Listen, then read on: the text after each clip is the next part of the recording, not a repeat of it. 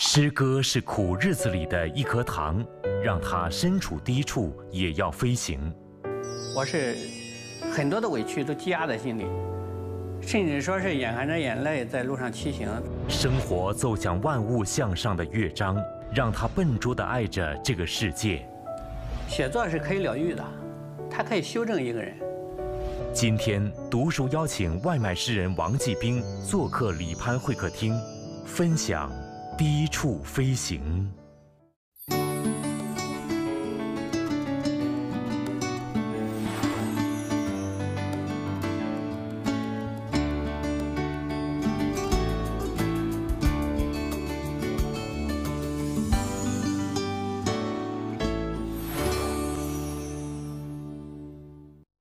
谁说展翅就要高飞？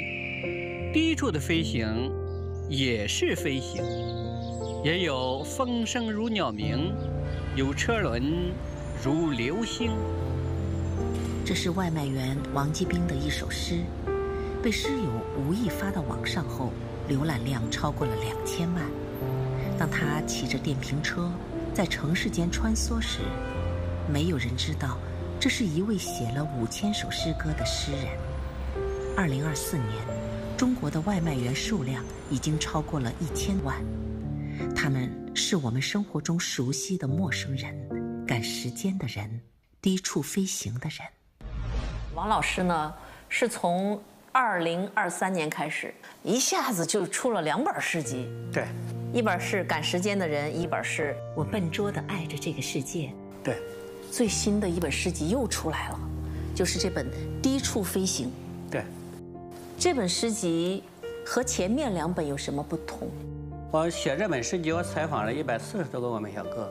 其实生活中我是一个特别内向的人，嗯，但是还是有很大的勇气去做这本书。我要去面对他们，我要去街头采访。我希望这本诗集的出现，把我们这个群像展现给读者。哦，那您采访这些您的同行，这些外卖小哥，这个采访的过程中间，您有什么最深的感触？呃，我从事这么多年的外卖，我认为我经过的风吹雨打，应该是大部分的小哥同样经受的。嗯，我想象过可能会有我经受不到的苦难，或者是或者是痛苦吧。嗯，但是没想到会会那么重。我这里采访到的一个，算是我在外卖行业最好的兄弟，他时常是我们那个地方的单王，他曾经因为送外卖发生过翻车。一次性折断自己的八根肋骨。哎呀！当他向我讲述的时候，他那种乐观还是让我很诧异。我在设想，如果这件事发生在我身上，我可能就告别外卖这个行业了。坡度太长，雨水加速了惯性，后刹失灵，前刹翻车，翻身而起的电瓶车折断了他的八根肋骨。他向我讲述这段经历时。笑声一直穿插其中，仿佛那个同时折断八根肋骨的人，不是自己，而是一幕滑稽剧。他说：“你知道吗？八根肋骨会减去两厘米身高。从前老婆比我高，现在更高。我想把这首诗写得长一些，又怕长度加速他人生的坡度。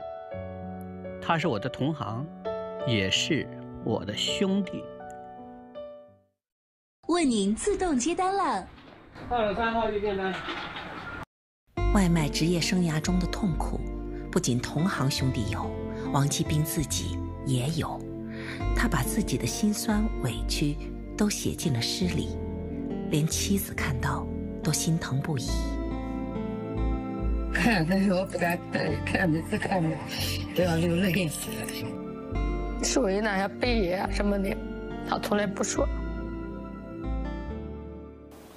您在写作的过程中，或者说是在写下那些诗句的这个过程里面，您觉得从这个行为本身得到了什么？抚慰，更多的是抚慰。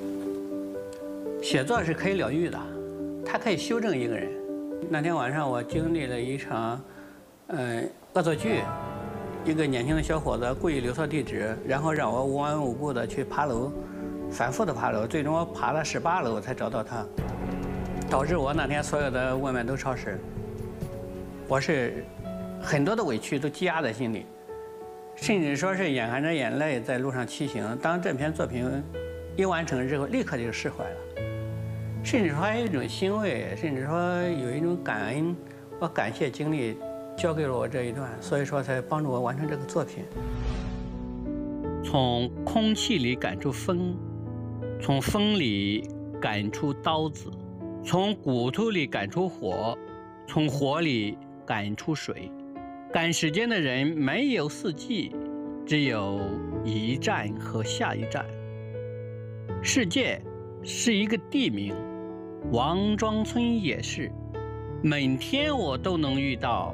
一个个飞奔的外卖员，用双脚锤击大地，在这个人间不断的淬火。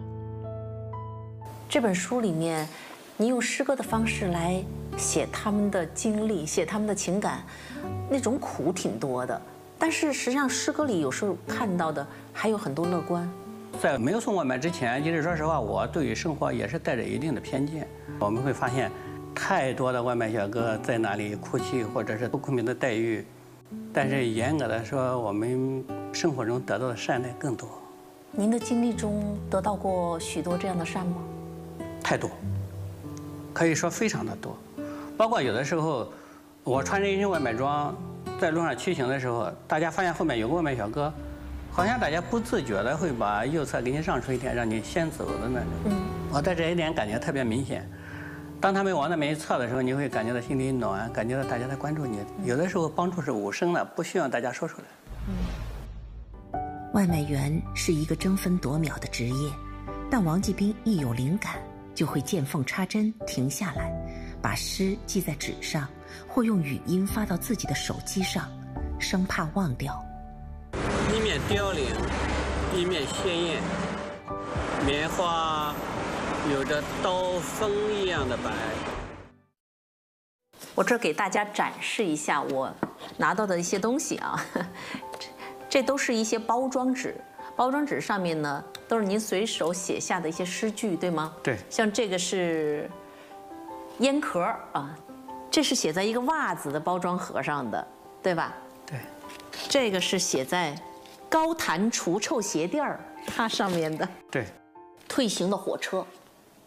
我坐在背对行驶方向的车座上，以退行的方式回家，以火车的速度退向父母，仿佛生活里的一次退货，一个不被异乡接收的中年人，被退回故乡。